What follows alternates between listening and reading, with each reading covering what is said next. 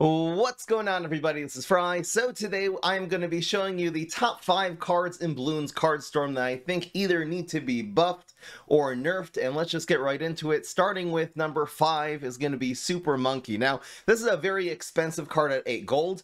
Uh, it does 180 damage, but the huge drawback, uh, of course, of this card is the fact it has a 4 reload time. So when you play Super Monkey, you're basically going to be able to do an immediate 180 damage, and you're not really going to be able to use it much for the rest of the game. Maybe if the game goes four more turns, you can actually activate your Super Monkey one more time.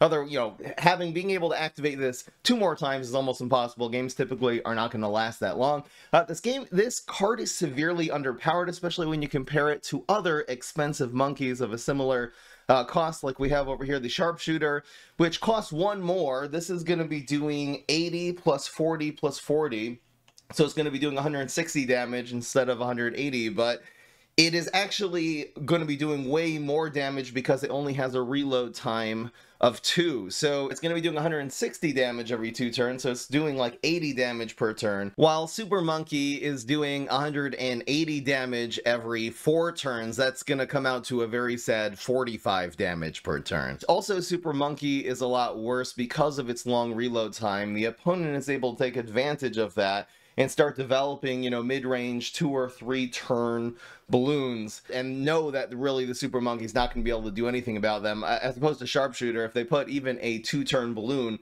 uh, on the board while sharpshooter's reloading sharpshooter will be able to um, to defend against it. So how would i change super monkey? Um, you, you, know, the obvious way would be to decrease the reload time. Uh, and that way it'll actually sort of come in line a little bit more sharpshooter, make it a two or three reload time, maybe a little bit less damage. Um, I really don't think there's a need to have Super Monkey and Sharpshooter both basically do the same thing of being expensive monkeys with high attack. Um, that you know have like a shorter reload time. What I would really like to see happen with Super Monkey is to stick with the idea that Ninja Kiwi had of making this this mega powerful card, but having this enormous reload time. Basically have it a be a bailout in case of emergency that you know if the game happens to take a long time you will be able to use it again. I could see super monkey's attack going at 8 cost all the way up to even a 100 uh, and that way you know if you do the math it'll be doing three shots of 100 which will be uh, 300 if you divide that by four turns that only averages out as 75 damage per turn as opposed to sharpshooter that's doing an average of 80 per turn. Plus the fact that super monkey takes a really long time to reload that you can take advantage of it. I think that would actually be okay as an 8 cost card. It would not be overpowered.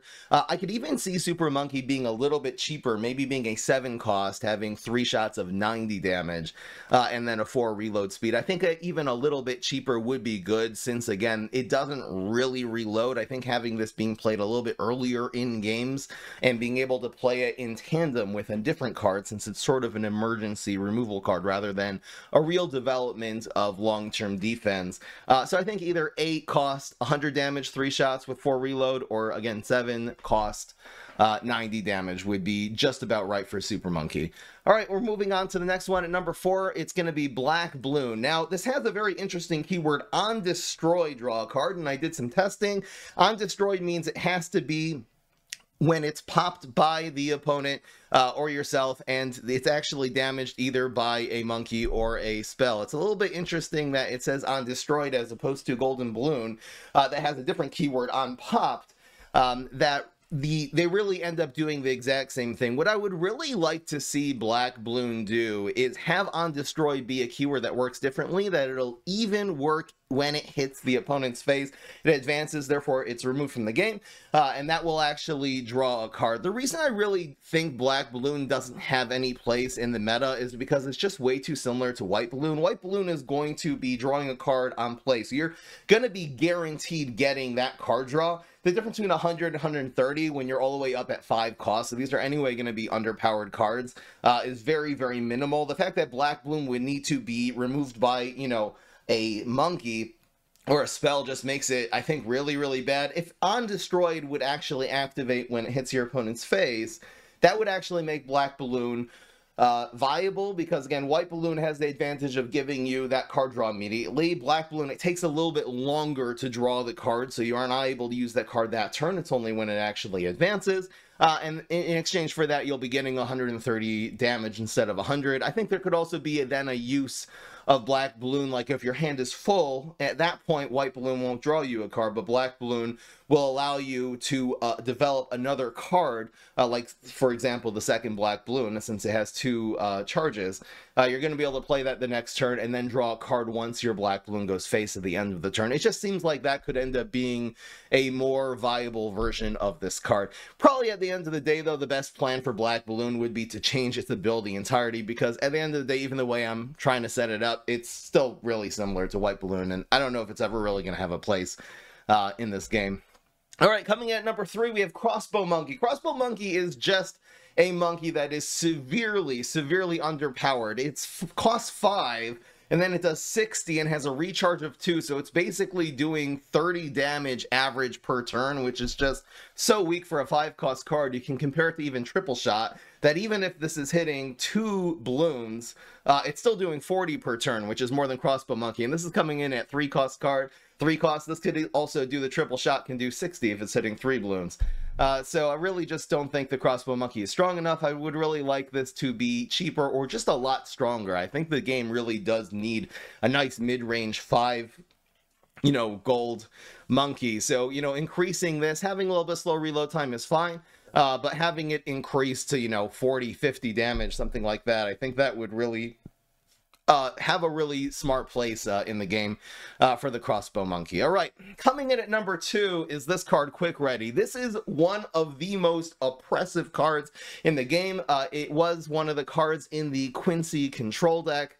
And Quick Ready will make one of your balloons reduce its timer by one, which means you can simply just put like a ceramic balloon that anyway has a pretty short timer of two you know, and this is going to be doing half of your opponent's health at 250. The opponent thinks they have an extra turn in order to deal with this, and all of a sudden you quick ready it. Uh, and it just goes face. Of course, Quick Ready could also just be used on even bigger balloons like blimps uh, that have a three or four timer and you're able to use one quick ready or even two to speed up something that's sitting on two like a big BFB uh, that has a two timer left. If you have two quick readies in your hand, it only costs six gold to play two of these. Uh, I've definitely finished off opponents with combos like that. It's just a really, really impressive card. I love the fact that quick readies in the game. I think the game needs something like this. I just think it needs to be way more expensive. So I would see uh, quick ready at least costing four, maybe even five. I think even at five, because it's such a powerful finisher, and can really result in hundreds of damage going to face pretty easily. Uh, I think that would make Quick Ready much more balanced. It's more expensive. You're investing more, and also it would be a lot harder to play two Quick Readies uh, in the same uh, turn. I guess late in the game when you're making 10 gold uh, per turn, that would be the time that you'd be able to play uh, two Quick Readies, but not before that. Uh, just a couple of honorable mentions, cards that I think need to be adjusted a little bit. Storm of Arrows seems like it does a lot for a two cost card. Uh, this is 300 damage and it's pretty easy to get the full 300.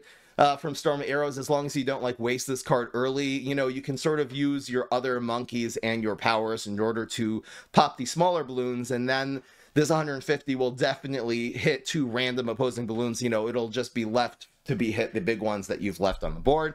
Uh, I could just see this being a three cost card. I think that would definitely help.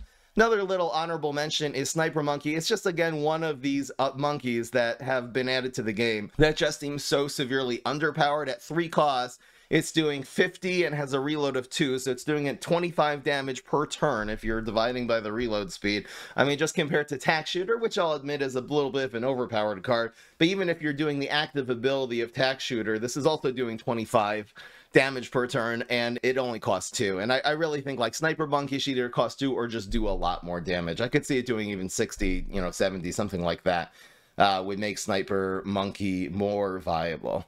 And coming down to number one, the number one card I think that needs to be changed urgently in this game, of course, is the Banana Farm. This is the most oppressive card uh, in the beta. It, a lot of games really just came down to which side got more banana farms. Whoever gets more banana farms wins. So this costs only three. It fills up a monkey slot and it gives you two gold every single turn. So you're going to be making a profit on this. On your second turn, you're going to be uh, getting a profit. And as the game goes by, gold in Bloons Card Storm stacks. That's actually a really ballsy move by the devs that is very unlike almost any other card game PVZ Heroes, Hearthstone, your mana and your brains and your sun don't last from turn to turn.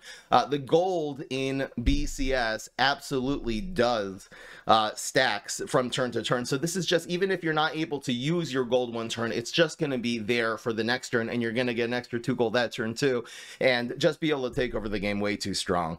What would I suggest for Banana Farm? I talked about it uh, with the chat in the live stream, and we came up with two ideas. One is simply having this be a three gold cost and only giving one gold per turn. That would be a pretty significant nerf. Uh, you'd be able to play this card, you know, sort of just as fast. It would take three turns just to break even, and then it would be giving you a profit every single turn. It just wouldn't have this problem of two gold per turn, where as the game goes by and it's turn four, five, six, that you are just slowly, not even that slowly, very, very quickly gaining so much more tempo on your opponent because of how much gold you're gaining. The other idea we had is to make this a 5 cost card that gives you 2 gold. Even 4 cost 2 gold I think would be too fast. 5 cost 2 gold seems reasonable, so you're not able to develop it as quickly unless you have this insane starting hand uh, with a lot of cash drops. Um, but I, I, say at like 5 cost 2, so you're developing a little bit later. It's not giving you that early game momentum uh, in order to make up for its cost quite as fast. You'll break a little bit of a profit after three turns, and then it will sort of give you the momentum to the late game. I could also see this just being two separate cards. Banana Farm being one card that's three gold, and it gives you one, and then Banana Plantation, sort of like an upgrade, uh, would be a five cost monkey that would be giving you two. I could see that as definitely being viable. Anyway, guys, those were the top cards that I think really need to be changed, uh, buffed, and nerfed in this game. Let me know what cards you think uh, I left out of this list in the comment section below. Thank you for joining me. I'll see you in the next one. Peace. This is Fry.